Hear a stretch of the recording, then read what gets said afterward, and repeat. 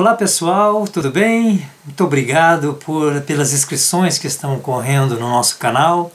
Muito obrigado pelas visualizações, é algo que está me deixando muito incentivado para estar tá mostrando para a comunidade odontológica, para todos aqueles que estão ligados à odontologia e para a população de maneira geral, o que se passa dentro da nossa profissão.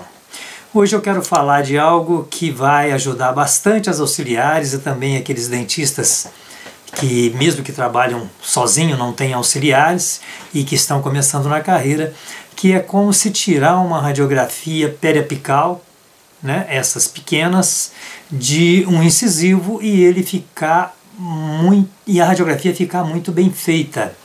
É, a gente nota muitas distorções nas radiografias, mas eu vou mostrar algo que a experiência me mostrou que além de estar tá economizando um pouco em cima de algum material que a gente sempre está comprando, mas o que mais importa é a qualidade da radiografia na hora que a gente vai tirar para ela sair num, num tamanho adequado, no tamanho certo que seria o dente.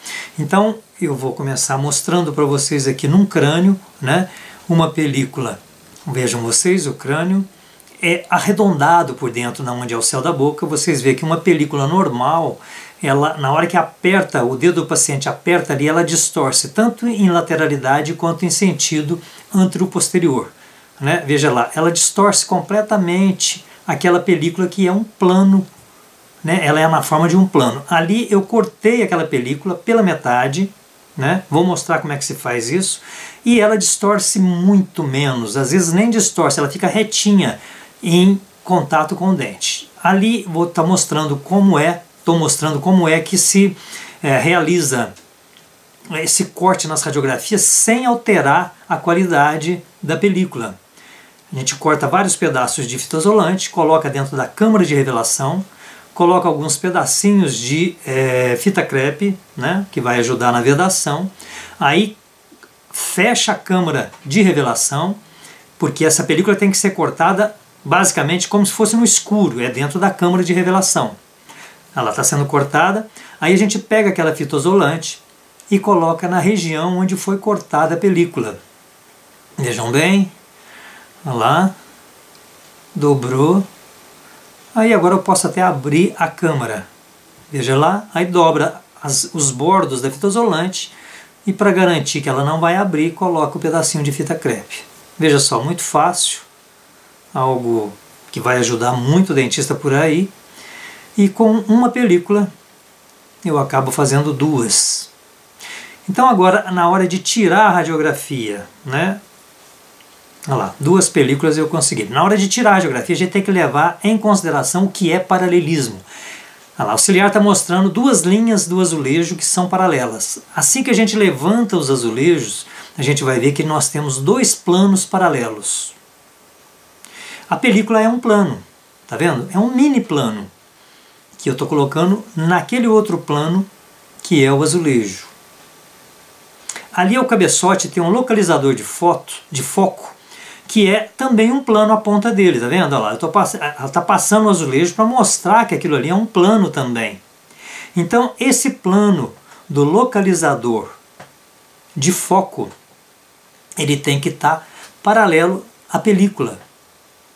Na teoria fala que tem que ser, é, os raios têm que ser perpendicular ao ângulo da bissetriz formada entre a película e o dente. Fica muito difícil assim, vamos, vamos colocar que seja paralelo à ponta do cabeçote, né, do localizador de foco, ele tem que ser paralelo com a película. Olha lá, eu, eu, eu indo com a ficha mostrando como está paralelo os dois. Beleza? Bom, é 0,5 segundos normalmente, e aí, ó, é o, revelador, a água e o fixador. Normalmente, gente, normalmente não, toda vez que vai revelar tem que ser com a câmera fechada. Né? A gente tira aquela parte mais branca que é a película de dentro do invólucro, né? que tem dois papéis e também uma fita de chumbo, um pedacinho de chumbo lá para proteger a película. E na hora que vai passar no revelador é bem lentamente que a gente passa até você conseguir enxergar a imagem. Aí lava na água e vigorosamente a gente agita no fixador. Basicamente é isso a revelação. lava na água corrente porque o fixador mancha a roupa e vocês estão vendo a radiografia tirada. Agora vamos comparar uma com a outra. Vejam bem a radiografia tirada da forma como vem de fábrica e ela cortada. Olha lá a diferença de tamanho que deu entre um dente e o outro. Você olha a película de fábrica, os dentes quase que viram um foguete e o outro fica o dente normal. Mas o que mais importa nisso que eu estou passando para vocês hoje não é tanto cortar radiografia para economizar em película, não. O que mais importa é a qualidade da radiografia, porque quando a gente está trabalhando no dia a dia nosso, muitas coisas são fabricadas e não atendem aos nossos anseios, às nossas necessidades. Essa maneira de cortar a radiografia foi algo que eu aprendi lá no começo da carreira e que trago isso até hoje, que sempre deu muito certo porque os dentes sempre estão do tamanho correto, praticamente na hora que a gente trata um canal, para quem trabalha com endodontia ou mesmo que precise tirar alguma radiografia, tá aí uma dica boa para poder estar tá mostrando para auxiliar, para auxiliar estar tá aprendendo como que se tira uma radiografia e vai melhorar muito a vida dos nossos colegas cirurgiões dentistas. E outra coisa, não se esqueçam de avisar os amigos, de avisar os colegas para se inscrever no nosso canal, porque é através das inscrições que eu sempre vou estar animado, as inscrições e as visualizações que eu vou estar animado para estar mostrando sempre alguma coisa boa para a nossa profissão. E aí, gostaram? Espero que sim. Um beijo a todos, fiquem com Deus e até o próximo vídeo.